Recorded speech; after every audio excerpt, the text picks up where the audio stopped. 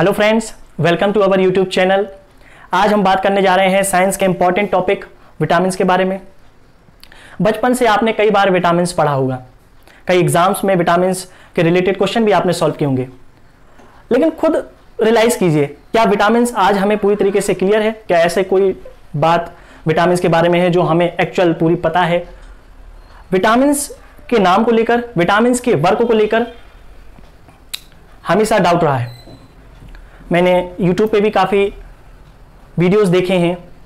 Vitamin की इतनी लंबी क्लास करते हैं, जिसमें विटामिन के यूजेस नाम और सबको इकट्ठा बता देते हैं, जिससे जो विटामिन के बारे में एक्चुअल जानकारी है, हमें नहीं मिल पाती। ये प्रिपरेशन के लिहाज से इंपॉर्टेंट तो है ही है। जनरल लाइफ के लिए भी बहुत ही इंपॉर्टेंट है। हमें जानना बहुत ज़रूरी है कि आखिर विटामिन हैं क्या? हमारी बॉडी में इसकी ज़रूरत क्यों है? और क्यों इतने इंपॉर्टेंट हैं जो बार बार हमें, जब हमें कोई बीमारी होती है तो किसी विटामिन का नाम लेना पड़ता है कि इस विटामिन की डिफिशियंसी से ये डिसीज़ हुई है। तो आज हम उसी को कवर करने के लिए विटामिन का चैप्टर का एक वीडियो बना रहे हैं। मैं इस टॉपिक को दो पार्ट में डिवाइड करूँगा, जिसमें सबसे पहले मैं विटामिन के बारे में बताऊँगा कि आखिर विटामिन है क्या, इसकी ज़रूरत क्यों पड़ी और आखिर ये है कितने टाइप के। आफ्टर डेट इसके बाद अगले वीडियो में जो टाइप्स होते हैं, नाम होते हैं, इन सबको मैं डिस्कस करूँगा।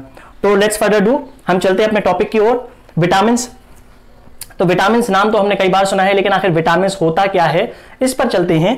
विटामिन में वीटा जो है, वो लाइफ होता है, यानी जीवन, और अमीन का मतलब होता है एसेंशियल यानी जीवन में आवश्यक एसेंशियल आवश्यक। क्या जीवन में आवश्यक? तो जीवन में जो आवश्यक पदार्थ हैं, उनको विटामिन कहा जाता है। अब ये एक ऑर्गेनिक एलिमेंट्स होते हैं ऑर्गेनिक इनऑर्गेनिक क्या होता है मैं आपको बाद में बताऊँगा। तो विटामिन एक ऐसे ऑर्गेनिक एलिमेंट्स हैं जो जीवन के लिए बहुत आवश्यक है। आगे देखते हैं 1882 में लेलिन ने इसको डिस्कवर किया। लेलिन ने क्या देखा? कि जो हम भोजन लेते हैं, उसमें आवश्यक पदार्थों में कुछ अन्य तत्वों की भी आवश्यकता होती है। वो विटामिन होते हैं, जिनकी सूक्ष्म मात्रा की ज़रूरत हमें जीवन के लिए आवश्यक होती है। देखिए बार बार जीवन के लिए आवश्यक आ रहा है मतलब विटामिन का मतलब ही वही है। 1912 में हॉपकिंस और फंक ने विटामिन थ्योरी दी। विटामिन थ्योरी में उन्होंने क्या देखा? विटामिन थ्योरी में उन्होंने देखा कि जैसे किसी को भी कोई डिसीज होती है, कोई रोग होता है तो उसके पीछे एक स्पेशल विटामिन विशेष विटामिन कॉजेज होता है। मतलब किसी भी बीमारी के लिए कोई ना कोई विटामिन जिम्मेदार होता है। अब वो कैसे होता है, मैं आगे सब बताऊँगा उसके बारे में। थोड़ा आगे चलते हैं। विटामिन टर्म यूज़ जो आप बचपन से सुनते जा रहे हैं कि विटामिन का टर्म फंक ने यूज़ किया फंक ने यूज़ किया तो विटामिन का टर्म फंक ने यूज़ किया है और 1912 में ही जब इन्हें विटामिन थोड़ी दी थी, तब उन्हें टर्म भी यूज़ किया था विटामिन अब विटामिन ज़रूरत क्यों है हमारे शरीर में विटामिन की, इसको बता दें. बॉडी में मेटाबॉलिक एक्टिविटीज़ होती हैं, उपापचय क्रियाएँ होती हैं. क्या होती हैं, मैं आगे चल के आपको बताऊँगा. उसके लिए उसके लिए एक उत्पीड़क की ज़रूरत होती है. ये विटामिन उसके लिए कार्य करता है. विटामिन जनरली दो पार्ट में डिवाइज होते हैं। एक जल में घुलनशील वाटर सोलूबल एक वसा में घुलनशील फैट सोलूबल क्या है ये जल में घुलनशील, क्या है ये वसा में घुलनशील?